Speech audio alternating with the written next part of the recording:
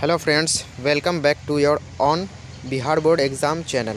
दोस्तों, आज के इस वीडियो में हम लोग स्टोरी ऑफ़ इंग्लिश का जितने भी ऑब्जेक्टिव क्वेश्चन है इंपॉर्टेंट ऑब्जेक्टिव क्वेश्चन उसको हम लोग इस के, आज के वीडियो में कवर करेंगे। तो आप इस वीडियो को एक टेस्ट के रूप में आपको देना है, यानी कि यहाँ पर आपको क्वेश्चन दिया जाएगा प्लस आपको चार ऑप्शंस दिए जाएँगे। इसको आपको कॉपी में आपको इसका आंसर टिक लगाना है और लास्ट में हमको कमेंट करके बताना है जो आपका कितना इस पर से आंसर सही हुआ। तो चलिए दोस्तों, शुरू करते हैं बिना टाइम वेस्ट किए हुए। कह रहा है choose the correct answer first number question है the English language is much younger than dash यानी कि इंग्लिश लैंग्वेज जो है, वो यंगर है, इनमें से किससे? तो ये है संस्कृत ग्रीक लैटिन या ऑल थ्री तो इनमें से कौन सा राइट आंसर हो जाएगा? तो आप लोग कॉपी में फटाफट बना लेंगे, इसका राइट आंसर हो जाएगा ऑप्शन नंबर डी यानी कि संस्कृत ग्रीक लैटिन इन तीनों लैंग्वेज से इंग्लिश लैंग्वेज क्या है? यंगर है, यानी कि इसका जो उदय हुआ है, ये बाद में हुआ है। चलिए नेक्स्ट क्वेश्चन की ओर बढ़ते हैं। नेक्स्ट क्वेश्चन क्या कर है? नेक्स्ट क्वेश्चन कह रहा है who gives England England its name and language who gives England its name and language किसने इंग्लैंड को उसका नाम और उसका लैंग्वेज दिया? तो जैसे कि चार ऑप्शन देख पा रहे हैं तो यहाँ पे कौन सा राइट आंसर हो जाएगा? तो यहाँ पे हो जाएगा ऑप्शन नंबर सी यानी कि एंग्लो सेक्शंस यानी कि सी नंबर इसका राइट आंसर हो जाएगा। नेक्स्ट क्वेश्चन क्या कह रहा है? देख लेते हैं हम लोग। नेक्स्ट क्वेश्चन करा the term English was derived from the name यानी कि ये जो टर्म है वर्ड है इंग्लिश वो किस से नेम से डिराइव किया गया है? तो ये किया गया है, ये एंगल्स नेम से, यानी कि ए नंबर इसका राइट आंसर होगा। सॉरी इसका जो राइट आंसर हो जाएगा, ये इनमें से कोई भी नहीं है। यानी कि यहाँ पे कोई भी ऐसा आंसर दिया हुआ नहीं है। चलिए नेक्स्ट क्वेश्चन की ओर बढ़ते हैं। नेक्स्ट क्वेश्चन क्या करा है?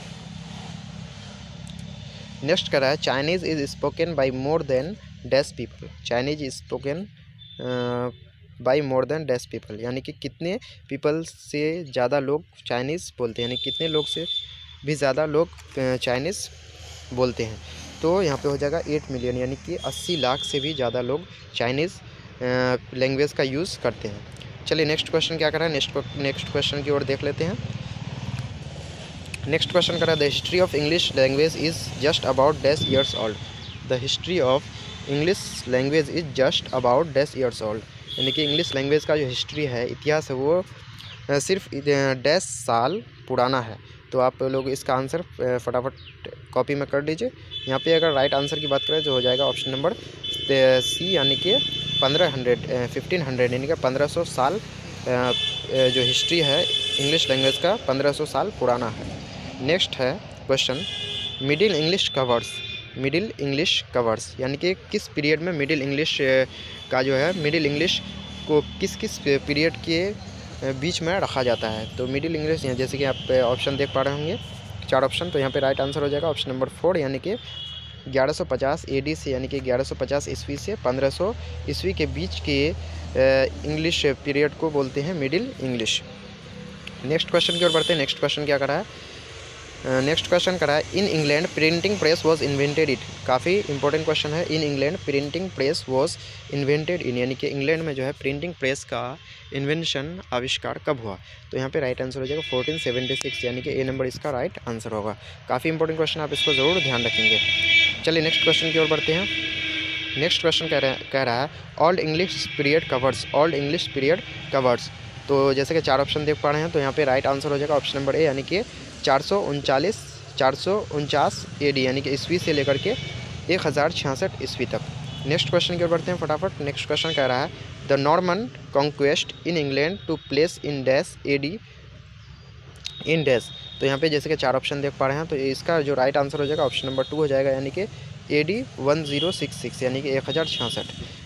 अगला क्वेश्चन है इन द ओई पीरियड यानी कि old English period in the old English period the two major influences were यानी कि ओल्ड इंग्लिश पीरियड में दो मेजर इन्फ्लुएंसेस कौन कौन से थे? तो यहाँ पे राइट आंसर की बात करें तो हो जाएगा ऑप्शन नंबर सी यानी कि Latin and Scandinavian Latin and Scandinavian इसका राइट आंसर हो जाएगा.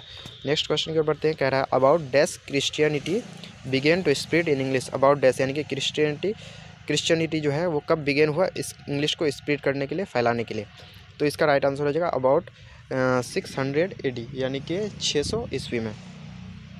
नेक्स्ट है the golden period of old English literature was the era of यानी कि ओल्ड इंग्लिश का golden period old English literature का जो गोल्डन पीरियड कहा जाता है, वो किसके ज़माने को कहा जाता है, किसके एरा को कहा जाता है? तो यहाँ पे राइट आंसर हो जाएगा ऑप्शन नंबर ए यानी कि किंग एल्फ्रेड किंग एल्फ्रेड के एरा को golden period of old English literature कहा जाता है। नेक्स्ट क्वेश्चन कह रहा है, middle English period is accepted to be from. यानी कि मिडिल इंग्लिश पीरियड कब से कब तक एक्सेप्ट किया जाता है? तो यहाँ पे राइट आंसर हो जाएगा ऑप्शन नंबर ए यानी कि 1150 ईस्वी से लेकर के 1500 ईस्वी तक। नेक्स्ट क्वेश्चन कह रहा है the printing press was set up by William Caxton ध्यान रखेंगे William Caxton at the Westminster Abbey English in dash यानी कि कब? तो यहाँ पे राइट आंसर हो जाएगा ऑप्शन नंबर बी यानी कि चौदह सौ छिहत्तर, जैसे कि अभी हम लोग ने इससे पहले के क्वेश्चन में इसको कवर किया था। नेक्स्ट क्वेश्चन है the first phase of middle English literature covers the period dash यानी कि मिडिल इंग्लिश लिटरेचर का पहला फ़ेज़ वो किस पीरियड को कवर करता है? तो यहाँ पे राइट आंसर हो जाएगा ऑप्शन नंबर सी यानी कि 1150 से 1215 ईस्वी। नेक्स्ट है the second phase of middle English literature covers the period यानी कि मिडिल इंग्लिश लिटरेचर का जो सेकेंड फ़ेज़ है वो कब से कब तक का पीरियड कवर करता है? तो राइट आंसर हो जाएगा यहाँ पे डी नंबर यानी कि 1250 से 1350 नेक्स्ट क्वेश्चन देख लेते हैं क्या कह रहा है। Modern English begins from. तो काफ़ी इंपॉर्टेंट क्वेश्चन है, इसको आप ज़रूर ध्यान रखेंगे। Modern English begins from. तो कब से कब से बिगिनस हुआ है मॉडर्न इंग्लिश? तो यहाँ पे यहाँ पे अगर राइट आंसर की बात करें तो हो जाएगा ऑप्शन नंबर ए यानी कि पंद्रह सौ ईस्वी। पंद्रह सौ ईस्वी आप ज़रूर ध्यान रखेंगे, पंद्रह सौ ईस्वी से जो है मॉडर्न इंग्लिश का पीरियड शुरू होता है। नेक्स्ट क्वेश्चन है the printing technology the printing technology was introduced in English in यानी कि इन इंग्लैंड इन तो यहाँ पे राइट आंसर हो जाएगा ऑप्शन नंबर बी यानी कि चौदह सौ छिहत्तर। नेक्स्ट क्वेश्चन क्या कर रहा है? नेक्स्ट क्वेश्चन कह रहा है that dash was also known as the Augustan age dash was also known as the Augustan age यानी कि ऑगस्टन एज के नाम से किसको जाना जाता है? तो यहाँ पे राइट आंसर हो जाएगा ऑप्शन नंबर थ्री यानी कि एटीनथ सेंचुरी एटीनथ सेंचुरी को ऑगस्टन एज के नाम से जाना जाता है। नेक्स्ट है the British grammar was written by J Buchanan in dash यानी कि ब्रिटिश ग्रामर जो है, वो जे बुकानन बुकानन के द्वारा लिखा गया। कब लिखा गया? तो राइट आंसर हो जाएगा ऑप्शन नंबर ए यानी कि 1762 में, यानी कि सत्रह सौ बासठ में। काफ़ी इंपॉर्टेंट क्वेश्चन है, आप इसको ज़रूर ध्यान रखेंगे। नेक्स्ट क्वेश्चन है dash has the largest number of native speakers किसके पास लार्जेस्ट नंबर बहुत ही ज़्यादा संख्या में नेटिव स्पीकर्स हैं? तो यहाँ पे राइट आंसर हो जाएगा ऑप्शन नंबर ए यानी कि चाइनीज़ चाइनीज़ के पास बहुत ही ज़्यादा नेटिव स्पीकर्स है, क्योंकि उसकी आबादी भी बहुत ही ज़्यादा है। चाइनीज़ भाषा को मंडारिन बोलते हैं। मंडारिन ध्यान रखेंगे आप। नेक्स्ट क्वेश्चन की ओर बढ़ते हैं। नेक्स्ट क्वेश्चन कह रहा है in the U K the U S A U K means United Kingdom the U S A तो ध्यान रखेंगे यू के हो गया यू एस ए हो गया, इसमें द का यूज़ आगे होता है, जबकि किसी भी और कंट्रीज़ के आगे द का यूज़ नहीं होता। तो in the U K the U C Ireland Canada Australia New Zealand and South Africa English is spoken as a यानी कि इन देशों में इंग्लिश को किस रूप में बोला जाता है? तो राइट आंसर हो जाएगा मदर टंग यानी कि मातृभाषा के रूप में बोला जाता है। नेक्स्ट क्वेश्चन की ओर बढ़ते हैं, कह रहा है in India Singapore Malaysia Nigeria Namibia Botswana etcetera English is spoken as यानी कि इन देशों में इंग्लिश को किस रूप में बोला जाता है? तो यहाँ पे हो जाएगा सेकेंड लैंग्वेज के रूप में इन, यानी कि option number C right answer हो जाएगा। सेकेंड लैंग्वेज के रूप में इन देशों में बोला जाता है। नेक्स्ट है English is also use as a dash by the Anglo Indian community of India यानी कि इंडिया का जो एंग्लो इंडियन कम्युनिटी है, वो इंग्लिश को किस रूप में यूज़ करते हैं? तो यहाँ हो जाएगा मदर टंग मदर टंग के रूप में यूज़ करते हैं। नेक्स्ट है in China Japan USA Saudi Arabia Egypt Iraq Eritrea France Germany Switzerland Mexico Brazil etcetera English is spoken as a dash यानी किस रूप में इंग्लिश को इन देशों में बुलाया जाता है तो यहाँ पे राइट आंसर हो जाएगा ऑप्शन नंबर टू यानी कि बी फॉरेन लैंग्वेज यानी कि विदेशी भाषा के रूप में। चलिए नेक्स्ट क्वेश्चन की ओर बढ़ते हैं। नेक्स्ट कह रहा है English developed from the speech of the dash English developed from the speech of the dash यानी कि इंग्लिश जो डेवलप हुआ, वो किसके स्पीच से? तो राइट आंसर हो जाएगा ऑप्शन नंबर ए यानी कि एंग्लो सैक्सन के। नेक्स्ट क्वेश्चन की ओर बढ़ते हैं, कह रहा है there are dash main effects of the world wide spirit of English यानी कि इंग्लिश के पूरी दुनिया में फैलने के कितने इफेक्ट्स हैं? तो है इसका टू इफेक्ट्स यानी कि ऑप्शन नंबर सी इसका राइट आंसर हो जाएगा। नेक्स्ट क्वेश्चन कह रहा है American English differs from British English in the sphere of यानी कि अमेरिकन इंग्लिश ब्रिटिश इंग्लिश से डिफर है, यानी कि भिन्न है। तो किस प्रकार भिन्न है तो ये हो जाएगा ऑल ऑफ़ दिस यानी कि वोकेबलरी ग्रामर स्पेलिंग सारा कुछ इसका अलग है। अमेरिकन इंग्लिश ब्रिटिश इंग्लिश से वोकेबलरी में भी अलग है ग्रामर में भी और स्पेलिंग में भी। जैसे कि आप जानते होंगे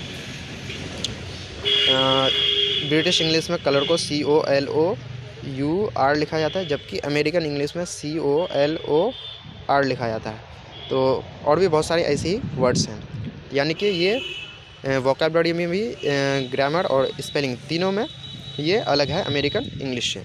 चलिए नेक्स्ट क्वेश्चन की ओर बढ़ते हैं।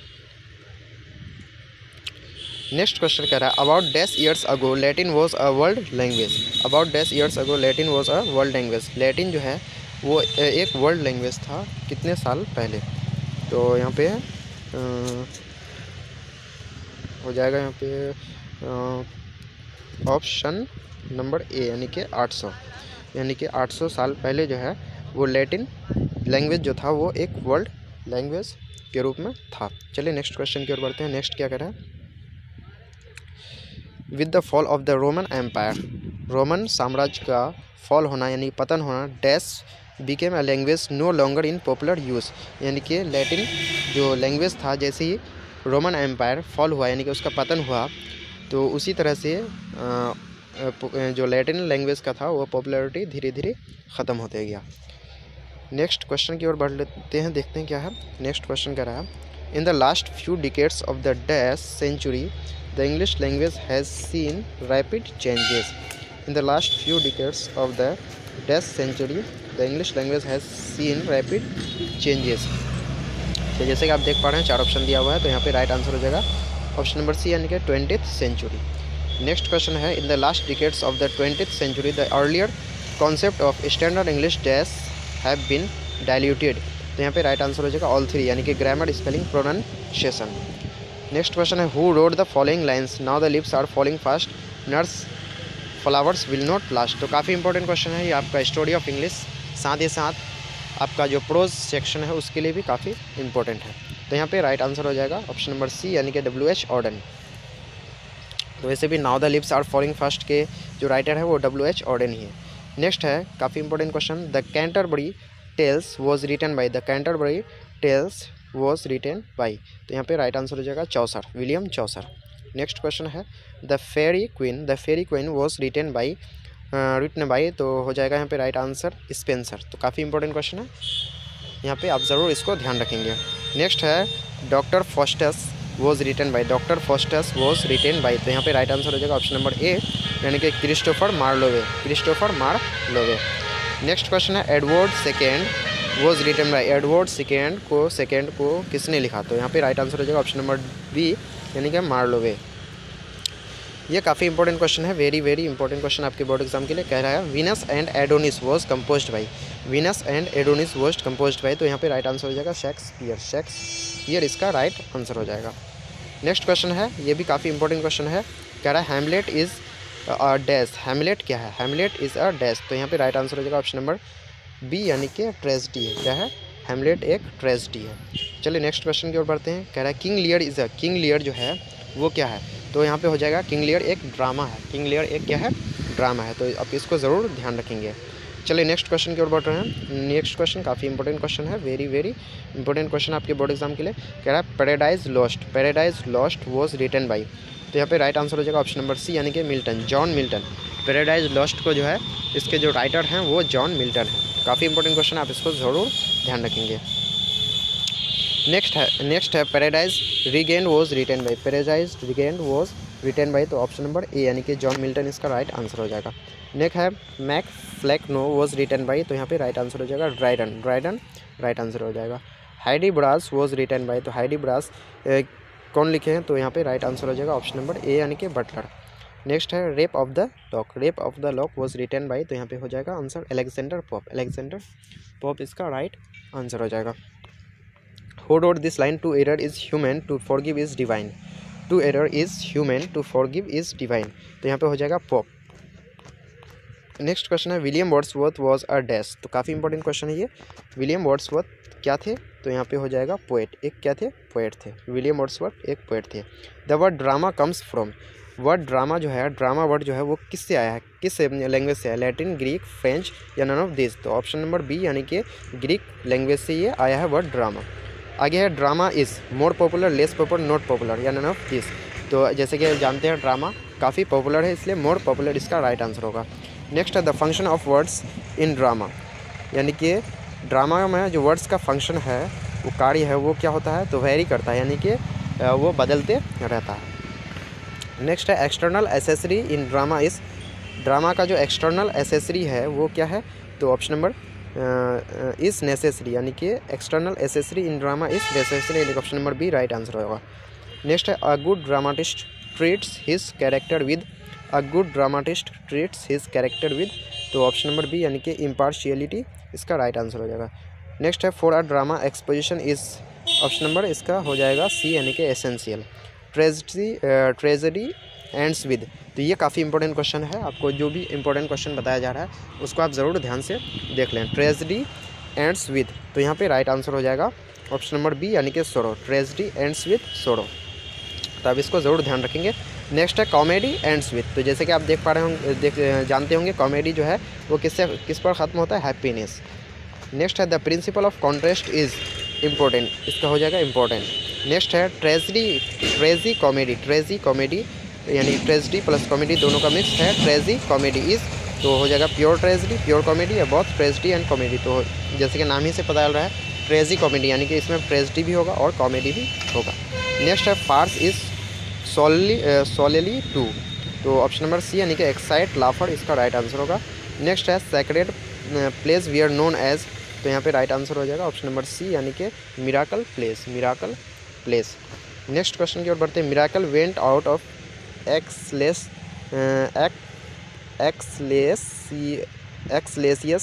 ecclesiastical hand by the years तो इसका राइट आंसर होगा ऑप्शन नंबर सी यानी कि तेरह सौ।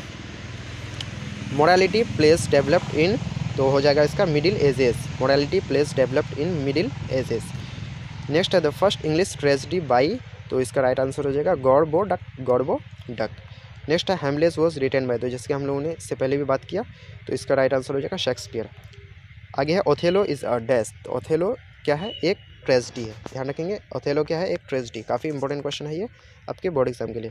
तो जो जो भी इंपॉर्टेंट क्वेश्चन बताया जाता है, उसको आप ज़रूर ध्यान रखेंगे। नेक्स्ट है Doctor Faustus was written by तो इसका राइट आंसर हो जाएगा ऑप्शन नंबर ए यानी कि मार्क लोवे नेक्स्ट क्वेश्चन की ओर बढ़ते हैं। नेक्स्ट क्वेश्चन है Queen Elizabeth reigned from Queen Elizabeth reigned from यानी कि कब से कब तक उसका शासन रहा? तो क्वीन एलिजाबेथ इसका शासन रहा 1558 से 1603 यानी कि पंद्रह से 1603 तक। चलिए नेक्स्ट क्वेश्चन की ओर बढ़ते हैं। नेक्स्ट क्वेश्चन का रहा है। Murder in the Cathedral was written by Murder in the Cathedral was written by तो ऑप्शन नंबर सी यानी कि टी एस इलियट इसका राइट आंसर हो जाएगा। नेक्स्ट है the greatest achievement of eighteen century is the rise of dash यानी कि eighteen century का जो सबसे महानतम अचीवमेंट है वो क्या है? तो हो जाएगा नावल अगला है बुनियान वॉज़ बॉर्न इन बुनियान कब उसका जन्म कब हुआ? था ऑप्शन नंबर ए यानी कि सोलह सौ अट्ठाईस. नेक्स्ट है the pioneer of the modern novel is तो मॉडर्न नावल का जो है पायोनियर कहा जाता है, हीरा कहा जाता है इसको कहा जाता है? तो ऑप्शन नंबर बी यानी कि बुनियान को. Daniel Defoe was died in तो काफ़ी इंपॉर्टेंट क्वेश्चन है। Daniel Defoe was died in तो कब डाइड हुआ? तो सेवनटीन थर्टी वन में। नेक्स्ट क्वेश्चन कह रहा है the father of the modern novel is तो काफ़ी इंपॉर्टेंट क्वेश्चन है। Very important question the father of the modern novel is तो फादर मॉडर्न नॉवेल का फादर किसको कहा था तो रिचर्डसन को। किसको? रिचर्ड सन को। काफ़ी इंपॉर्टेंट क्वेश्चन है। अगला क्वेश्चन है the name of the writer of the Pamela Pamela के लेखक का नाम है। तो ऑप्शन नंबर सी यानी कि रिचर्डसन क्या हो जाएगा? रिचर्ड्स सन रिचर्डसन इसका राइट आंसर हो जाएगा। आगे है Tom Jones was written by Tom Jones किसके द्वारा लिखा गया? तो ऑप्शन नंबर सी यानी कि फील्डिंग के द्वारा लिखा गया था। नेक्स्ट है Fielding gave genuine pictures of dash तो यहाँ पे राइट आंसर हो जाएगा ऑप्शन नंबर टू यानी कि मेन एंड वीमेन नेक्स्ट है Oliver Goldsmith Goldsmith was born in तो ऑप्शन नंबर ए यानी कि सेवनटीन ट्वेंटी एट इसका राइट आंसर होगा।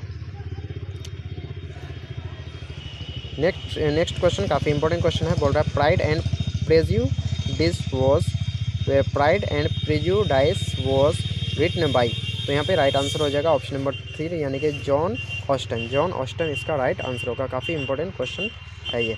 अब इसको ज़रूर ध्यान में रखेंगे। नेक्स्ट है scene was made essential element in fiction by तो ऑप्शन नंबर थ्री यानी कि स्कॉट स्कॉट के द्वारा सीन को काफ़ी एसेंशियल बना गया एसेंशियल एलिमेंट बना, बनाया गया था फिक्शन में। नेक्स्ट है Pickwick Papers Pickwick Papers was written by तो काफ़ी इंपॉर्टेंट क्वेश्चन है। ये किसके द्वारा लिखा गया? Pickwick Papers. तो राइट आंसर इसका हो जाएगा। ऑप्शन नंबर ए यानी कि डिकेंस चार्ल्स डिकेंस के द्वारा इसको लिखा गया है। काफ़ी इंपॉर्टेंट क्वेश्चन है। नेक्स्ट क्वेश्चन की ओर बढ़ते हैं। कह रहा है David Copperfield was written by David Copperfield was written by तो काफ़ी इंपॉर्टेंट क्वेश्चन है ये भी। काफ़ी इंपॉर्टेंट ऑप्शन नंबर सी यानी कि डिकेंस चार्ल्स डिकेंस इसका राइट आंसर हो जाएगा। चलिए नेक्स्ट क्वेश्चन की बढ़ते हैं। बोल रहा है R L Stevenson was born in R L Stevenson was born in तो ऑप्शन नंबर थ्री यानी कि 1850 1850 में इसका जन्म हुआ था। चलिए नेक्स्ट क्वेश्चन की ओर हैं। नेक्स्ट क्वेश्चन क्या कर है? The novel was made as serious as a heart medium as poetry by तो इसका राइट आंसर हो जाएगा ऑप्शन नंबर बी यानी कि थॉमस हार्डी नेक्स्ट है the romantic adventures in the novels we are introduced by तो right answer हो जाएगा आर एल स्टी वेंसन अगला है काफ़ी इंपॉर्टेंट क्वेश्चन है। D H Lawrence was are D H Lawrence क्या थे? तो इंडियन नेवलिस्ट थे अमेरिकन राइटर थे, या फिर कैरेबियन राइटर थे, या फिर ब्रिटिश राइटर थे। तो यहाँ पे राइट आंसर हो जाएगा। जो वो थे क्या बोलते हैं ब्रिटिश राइटर यानी कि अंग्रेज़ी अंग्रेज़ लेखक थे। यानी कि इंग्लैंड के लेखक थे कौन? डी एच लॉरेंस काफ़ी इंपॉर्टेंट क्वेश्चन है, आप ज़रूर ध्यान रखेंगे। नेक्स्ट है। नेक्स्ट क्वेश्चन कह रहा है।